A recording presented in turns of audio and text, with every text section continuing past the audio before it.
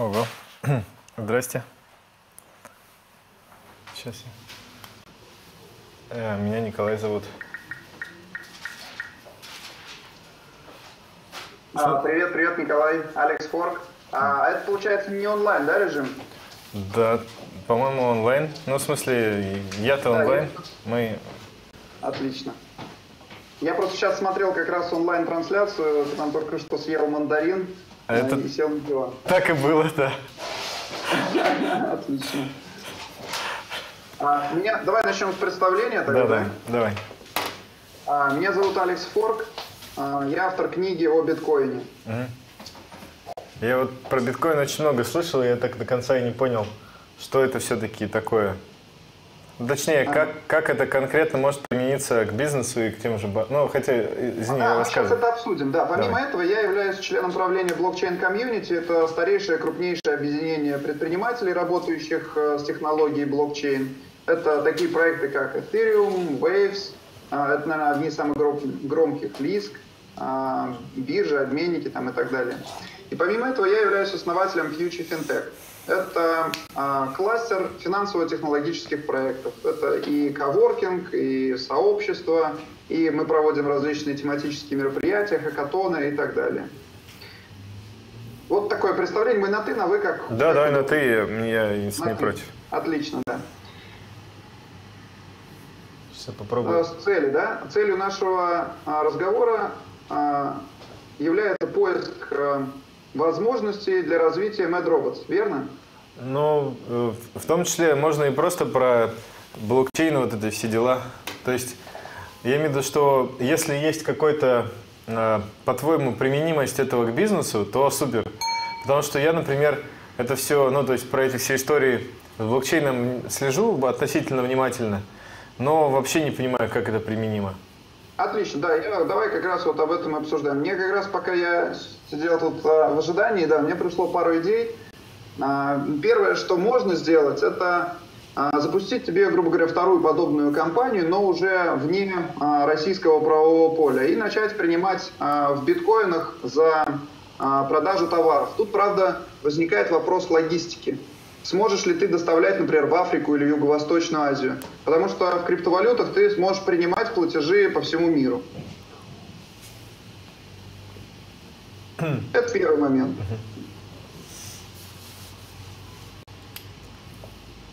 Да, я слышал.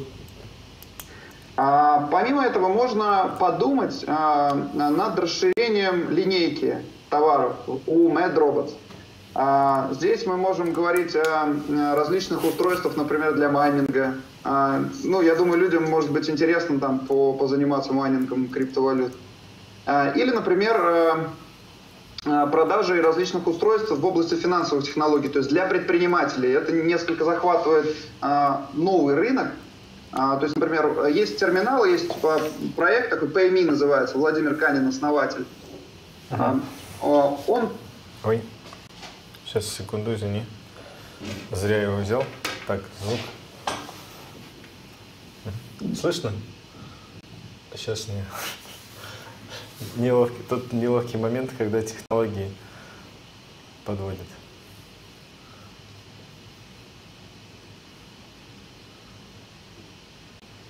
Да извини, у меня кабель отошел.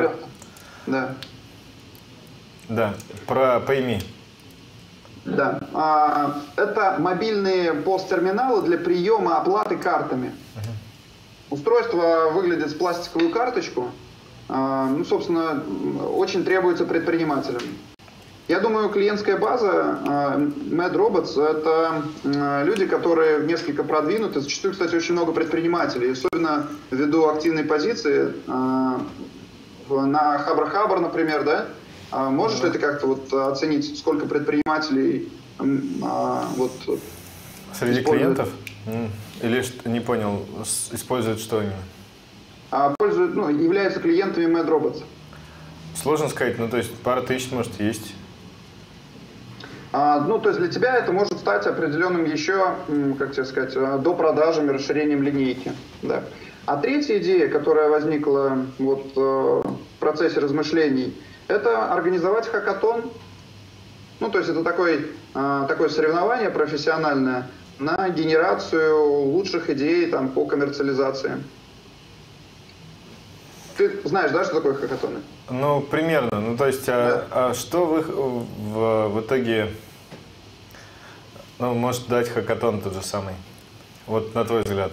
А, а, тут не, невозможно а, прогнозировать какие-то решения. То есть это работа с открытой средой. Ты включаешь большие массы людей а, для того, чтобы они поработали и подумали над а, твоим проектом. Даешь какое-то определенное вознаграждение и смотришь, что получится. Возможно, это перейдет в какие-то партнерские отношения. Возможно, ты другим людям дашь заработать.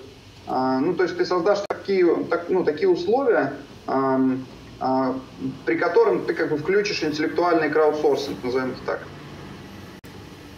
Это достаточно такое трендовое сейчас направление. Его используют много финансовых организаций, IT-компаний для решения сложных задач. Ну, вопрос постановки задачи для хакатона, это, конечно, уже тут надо обсуждать, думать. Мы как раз месяц назад проводили в Петербурге хакатон по а, созданию искусственного интеллекта для финансовых организаций. Создали? А, ну, конечно, когда мы говорим про создание искусственного интеллекта, мы говорим про слабый искусственный интеллект, не про сильный. А технологии искусственного интеллекта это ви, а, а, обработка видео, контента, звукового контента, то есть это скоринг, а, ну, зачастую работа с большими данными, выявление паттернов. Можете мне все-таки ну, объяснить? Есть очень интересное решение, да. То есть Сбербанк для себя нашел интересные ходы.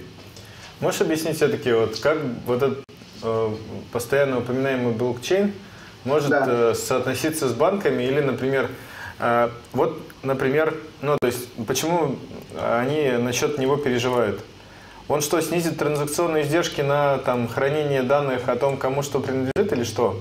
Или как? Да нет, э, фундаментальная проблема здесь в том, что а, последние годы произошел большой объем интер, интер, интервенционизма, то есть это вмешательство государства в экономику. А, объем расходов, а, а, например, если в США брать, он уже больше 100% государством. Объем расходов, государственных расходов больше 100% ВВП. Когда мы говорим о экономике, где расходная часть больше 100% ВВП, можем ли мы вообще называть эту систему капиталистической?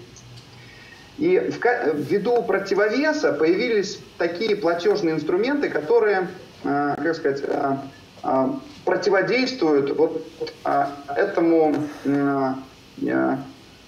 большому такому вмешательству государства, то есть эмиссии центральных банков и так далее. То есть вот логика криптовалют, она вот в этой плоскости лежит, почему они появились как таковые. Поэтому, конечно, ввиду того, что невозможно заблокировать эти платежные системы, они вызывают определенные а, ну, дискуссии на эту тему, волнение, назовем это так. Заменит ли это а, финансовую систему или элементы финансовой системы? Ну, покажет будущее. Сейчас, конечно, возникает очень большая лояльность к подобного рода архитектуре. И в том числе крупнейшие институты банки, ну не буду уже перечислять, платежные системы, начинают тестировать эти решения. В том числе, кстати, и центральные банки начинают использовать эту технологию. А как это применимо конкретно, вот, ну не знаю, там, а представим какой-то, вот я хочу взять, не знаю, кредит в банке, например. Как, э, ну вот сама по себе технология хранения данных через блокчейн или биткоин, как это ну, то есть как это повлияет на само хранение данных? Ну, то есть на процесс, я не знаю, вот, я вот не понимаю никак. Да, вообще эта революция блокчейна, она профессиональная. А, то есть, возможно, для конечного потребителя она останется незамеченной. То есть э, ты как платил а, электронными деньгами да, на экране своего смартфона, так и будешь ими платить. То есть тебе не принципиально, как под капотом это устроено. А с точки зрения а, архитектуры, такой, скажем так, институциональной, может, э, могут произойти очень сильные изменения. А что ты подразумеваешь под институциональной? Э, могут трансформироваться э, банковская, банковская отрасль. Она, она перейдет в более, скажем так, может перейти в более децентрализованный вид для примера, для понимания проще, это вот э, подобие что-то вроде Яндекс денег. Ну вот я э, пытаюсь понять, а вот мне, как вот, не знаю, человеку, это, или предпринимателю, что-то нужно думать в отношении блокчейна или денег будущего? Вообще вот что с деньгами происходит? Можешь рассказать вот э, в России, в мире и там, что нас ждет в ближайшее время? Ну, конечно, да. Здесь это достаточно уже, как сказать, э, много об этом написано. О, прошу прощения, у меня тут Сейчас, секунду. Да-да, я подожду. Я пока почитаю, чем Алекс пишет в интернете. Почитаю про него в интернете. Да. Да. Да. Ну, давай начнем с того, что в начале зарождения экономики а, люди обменивались товарами друг с другом. Допустим, ты добывал а, рыбу, я а, рубил лес. И у тебя получалось это лучше, чем у меня, а у меня, соответственно, с лесом получалось лучше, чем. И нам, понятное дело, что было удобнее меняться напрямую именно этими товарами. Но рыба быстро портилась, да, а лес, он занимал очень много места, тяжелый, габаритный был. И в ходе конкуренции этих товаров а, произош... победили а, так называемые благородные металлы. А, ну, в частности, мы можем говорить о золоте. Потому что оно было компактным, совмещало в себе а, очень высокую ценность и легко делилось. И его именно удобно было использовать. Но в какой-то момент а, а, механизм был выстроен таким образом, что а, предприниматели, а, ну, им неудобно было возить большой объем золота, и они оставляли его на хранение у банкиров. Банкиры под это выпускали ценные бумаги, и предприниматели между собой обменивались бумагами. Это такой же третий этап развития денег. А, четвертый этап – это когда эти ценные бумаги приватизировали, приватизировали государство, назовем так, и а, а, начали выпускать а, денежные знаки, оторванные от а, реального обеспечения, ну, в частности, золота. А, После этого пятым этапом был а, процесс, когда а, денежные знаки государства перешли в электронную форму. То есть уже даже не в форме учета в книгах, бумажных а, валютах, а перешли в электронную форму. Яркими примерами таких изменений это вот как раз является компания Visa, компания MasterCard, ну и, и межбанковские процессинги типа SWIFT и SEPA. А следующим этапом, который называют эксперты, придет на смену вот этому, это когда э, деньги э, перейдут э, в э, частную форму. То есть их будут имитировать уже не государство, а имитировать э, какие-то частные институты. И они конкурировать будут между собой, у кого эти деньги э, могут быть э, более надежными. Это такая вот краткая история за две минуты трансформации денег. Из нее можно сделать а, определенный вывод, что деньги трансформировались в форму более удобного, быстрого и с низкими издержками процесса. И сейчас добавляется новое качество к этому. Это а, безопасность, невозможность подделки, а, невозможность напечатать их в неограниченном количестве. Возвращаясь в практическую плоскость, как предприниматель может это использовать? Э, предпринимательство здесь является больше потребителем, скажем так, э, этого явления. То есть он, он предприниматель, он напрямую не влияет на те процессы, которые происходят. Для него это предмет, скажем так, работы. И поэтому, когда мы говорим про криптовалюты, блокчейн, то а, здесь проще всего это просто брать и использовать. То есть принимать в оплату, а, например, криптовалюты. Но а, тут вопрос уже определения правового поля, то есть в какой юрисдикции ты осуществляешь эту деятельность.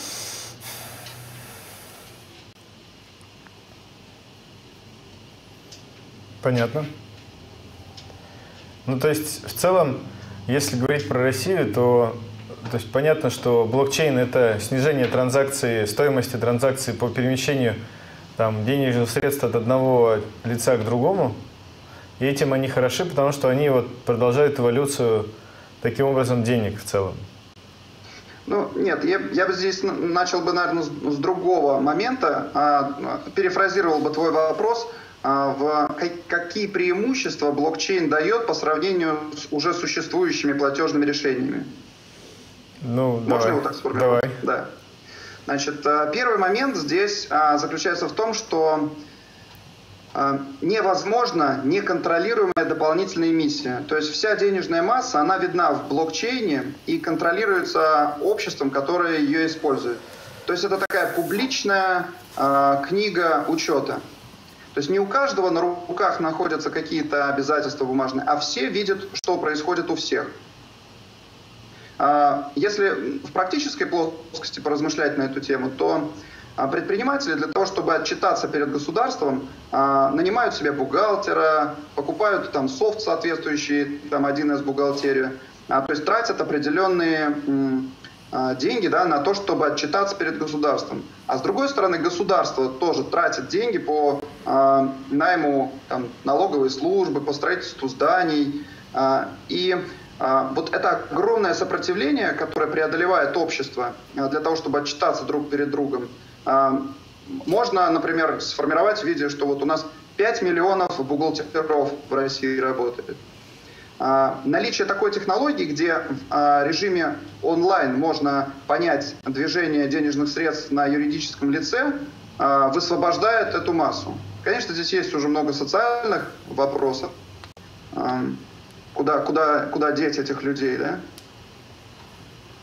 А, Но ну вот сейчас э, юридические лица отчитываются ежеквартально. А, есть уже технологии, вот э, в частности, когда мы говорим про блокчейн, а, которые позволяют в режиме онлайн отчитываться. Более того, в блокчейн можно заложить автоматизированные системы налогообложения. То есть, когда не требуется вообще сдавать никакой отчетность. Вот, это первый момент такой публичности и контролируемости в блокчейне. А, второй момент – это открытый программный код. То есть это программируемые деньги.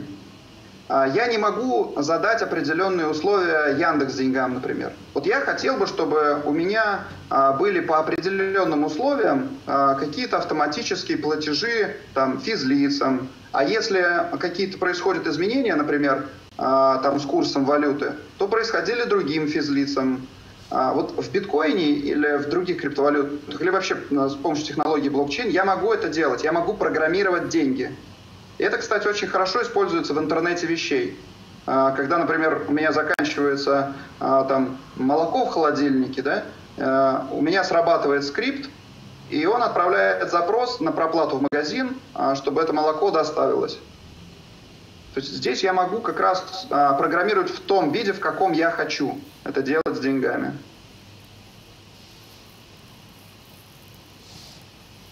Ну, конечно, там есть еще несколько а, преимуществ. Вот, ну, а, с, пом с помощью блокчейна, с помощью, если мы говорим про биткоин, да, могут коммуницировать группы, а, которые не связаны правовым полем. А, ну, в частности, я могу рассчитаться, например, с фрилансером в Африке, которого может не быть вообще паспорта. То есть он, никак, он никаким другим способом не может получить эти деньги. Но ему достаточно иметь э, э, выход в интернет, и, э, и, ну, и я уже э, смогу с, могу с ним рассчитаться, за, например, за его труд или за товар какой-то, который он мне отправит. То есть это связывает, условно говоря, все человечество с помощью одного инструмента – подключает в экономику те области, до которых э, финансовые институты не могут дотянуться по тем или иным причинам. Как это отразится на взаимодействиях людей там в ближайший год, два, три, пять? Это очень плавная тенденция будет, конечно, но это, это а, тренд а, глобализации. То есть а, вовлечение ну, большего количества людей, предпринимателей в международную экономику усиливает конкуренцию. В первую очередь. Между предпринимателями. Между предпринимателями, да. Ну и, конечно, происходит, в, ты, наверное, обратил внимание, что вот эта глобализация, она приводит к очень жесткой, наверное, монополизации, я бы назвал. Потому что а, есть тенденция к сворачиванию в единые а, сервисы. Ну, вот в частности, например, социальная сеть Facebook, она самая подавляющая. Поисковик Google, да, вот он самый подавляющий и так далее. Почему Происходит они свою такая... валюту не вводят? Что? Почему они не вводят свою валюту, интересно? Я думаю, придет свое время. То есть это вопрос, э, э, скажем так, разрушения института государства, насколько он будет быстро проходить. Если э, этот процесс займет лавинообразный характер, то, конечно, может получиться так, что вот эти корпорации смогут стать теми точками пересборки, скажем так, с финансовой точки зрения. То есть они могут как раз стать теми эмитентами валюты новой. Но это процесс, мы, мы уже говорим о процессе, а, который затрагивает десятилетия. Произойдет это или нет, тоже никто не знает. А в данный момент а, корпорация Google и Facebook являются а, резидентами, если я не ошибаюсь, в Соединенных Штатах Америки, и, соответственно, они подчиняются правовому полю этой страны. Да, интересно. Ладно, спасибо большое тебе за экскурс. Я почитаю еще, так понял, у тебя сайт, ну, который forklog.com. Нет, forklog.com это не мой ресурс, да, новостной. А, ну, а, а fork? Да. Это, я имею в виду, с чем связано? Ну, то есть, они просто да, это да, творческий псевдоним. А, он появился в сети. В профессиональной среде я известен больше как Алекс Форк. Ну, если ты загуглишь, ты найдешь. Да, уже нашел. Почитаю. Спасибо большое. Да, интересно. отлично, Николай. Было, спасибо. Было интересно пообщаться. Да, Тогда да. будем на связи. Спасибо. Хорошо, на связи. Пока, да. Пока.